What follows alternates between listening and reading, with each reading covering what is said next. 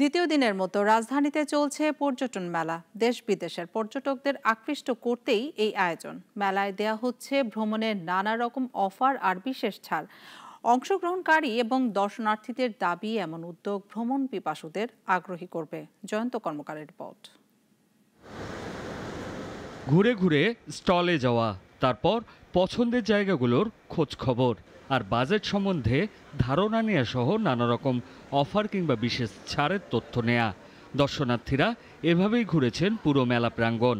প্যাকেজগুলো পাওয়া যায় যে একটু চিপারের মধ্যে একটু বেশি দিনের জন্য যদি যাওয়া যায়। একটা ফ্লোরের মধ্যেই সবগুলো আমরা প্যাকেজ দেখতে পারলাম। আমরা তো আসছি রিসোর্ট বুকিং দিতে। রাজধানীর বঙ্গবন্ধু সম্মেলন কেন্দ্রে নানা সুযোগ সুবিধা নিয়ে হাজির হয়েছেন দেশি বিদেশি দেড় শতাধিক পর্যটন সংস্থা। প্রথম দিন থেকে আমরা হিউজ পরিমাণ রেসপন্স পাচ্ছি ইভেন কলস পাচ্ছি যারা এখান থেকে প্যাকেজগুলো নিয়ে যাচ্ছে তারা আমাদের সাথে সব- মানে তখনই হয়তো যোগাযোগ করছে। বা ট্যুরগুলোতেও দশ থেকে বিশ পার্সেন্ট পর্যন্ত দেশ বা দেশের বাইরের ট্যুরগুলোতে থাকছে। তো সেমভাবে অন্যান্যরাও কিন্তু এরকম অফার দিয়েছে। তো অফারের কারণে দেখা যায় যে সর্বস্তরের মানুষ একটা জায়গায় এসে মিলিত হচ্ছে। আয়োজকরা জানান এদেশের সম্ভাবনাময় পর্যটন খাতের বিকাশে এই মেলা গুরুত্বপূর্ণ ভূমিকা রাখছে।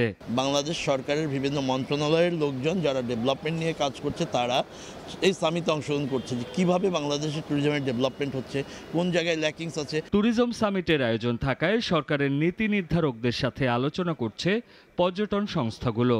কথা হচ্ছে, সমস্যা ও সম্ভাবনা নিয়েও। কাল ইতি ঘটছে এবারের আয়োজনের।